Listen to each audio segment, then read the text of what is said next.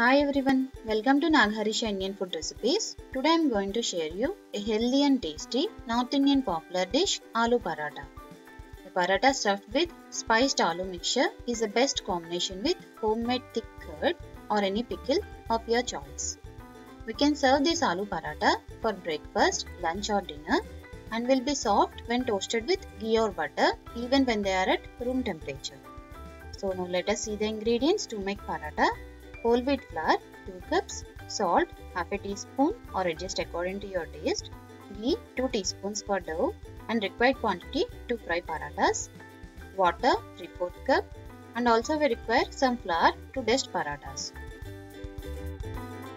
And ingredients for stuffing we need 3 green chilies finely chopped or adjust according to your taste, half a teaspoon cumin seeds or even can use cumin seeds powder of your choice, tablespoon curry leaves, here I am using dry curry leaves, when you are using fresh curry leaves finely chop it, 1 4th medium sized onion finely chopped, this is complete optional, 2 tablespoons finely chopped coriander leaves, oil 3 teaspoons, freshly crushed ginger and garlic paste a teaspoon, 2 medium sized boiled potatoes, here I have boiled in a pressure cooker and peeled the skin of the potatoes.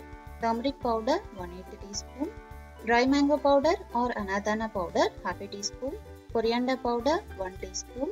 Red chili powder half a teaspoon or adjust according to your taste. Salt 3 4 teaspoon or adjust according to your taste. Now let's start the process to prepare aloo paratha.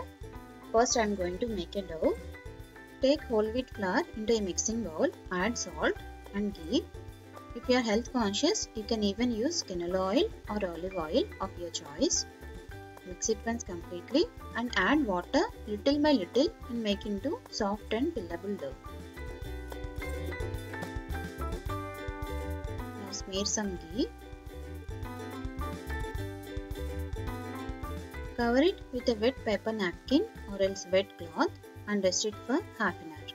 In the meanwhile, I am going to make stuffing First, chop these potatoes. Make sure the potatoes are at room temperature and mash the potatoes by using potato masher or with your hands. Or even you can grate the potatoes of your choice. Make sure there is no lumps. If any, while rolling the parathas, it might tear. Set this aside. On the other side, add oil into a heavy bottom pan on a medium heat. Once the oil is enough hot, add cumin seeds, finely chopped green chilies, finely chopped onion, and a pinch of salt. By adding salt, the onions will cook little faster. Salt it once, cover it with a lid and cook until the onions turn to golden color. Stir in between cooking. Now to this add freshly crushed ginger and garlic paste, turmeric powder, salt to taste, red chili powder, coriander powder, dry mango powder here instead of dry mango powder, you can even use anardana powder or lemon juice. Also add finely chopped coriander leaves, crushed dry curry leaves.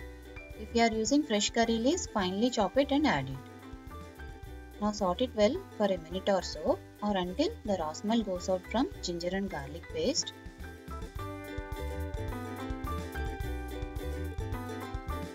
Now add fully mashed potatoes Make sure there is no lumps and mix it once completely.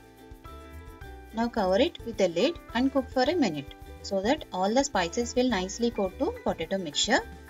Now turn off the flame and allow the stuffing to cool down completely. And make the stuffing into small round size balls. Set this aside. Now let's start to make aloo paratha. Take the dough ball and knead it well for a minute or two.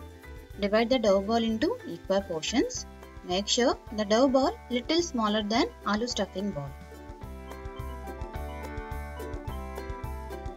Now take one portion of the dough ball and cover the remaining. Dust the dough ball with some flour and roll it gently and evenly into 3 to 4 inch diameter round by using rolling pin.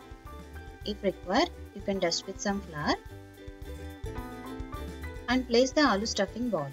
Make sure the stuffing ball is a little bigger than dough ball Pull the edges and start pleating as well as bringing the pleats into center. Join the pleats well or else there will be gaps while rolling and filling comes out.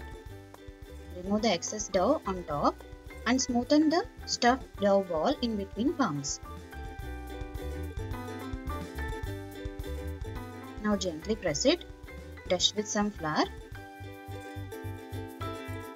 and roll it with rolling pin slowly and evenly from all the sides in a circular motion. Roll it into little thicker paratha. Do not roll it into thin. Stuffing may come out. If required, dust with some flour and roll it gently and evenly.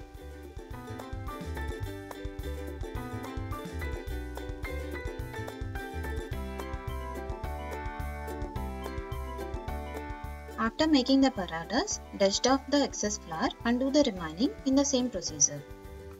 Now I am going to roast the parathas. Heat a skillet or tawa on a medium heat. Grease the skillet with some ghee and place the rolled paratha in the center and cook the paratha on a medium heat. Once you see the bubbles on top, flip it and smear some ghee on top and sides of paratha.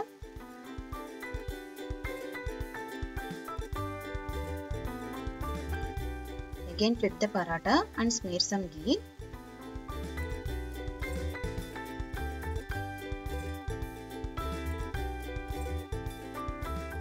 Roast the paratha until you get golden spots from both the sides.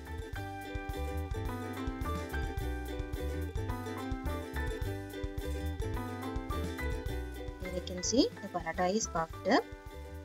Generally, for aloo paratha, we can make the stuffing in different variations. And today I shared you the way I make the parathas to my family members. Now transfer to the other plate and repeat the same procedure for the remaining parathas. Serve this aloo paratha with homemade thick curd or any pickles of your choice. Try making this recipe at your home. And if you like this recipe, please do subscribe to my YouTube channel Nagaharisha Indian Food Recipes and thumbs up this video. Thank you for watching this video. See you soon with another new delightful recipe. Until then, bye.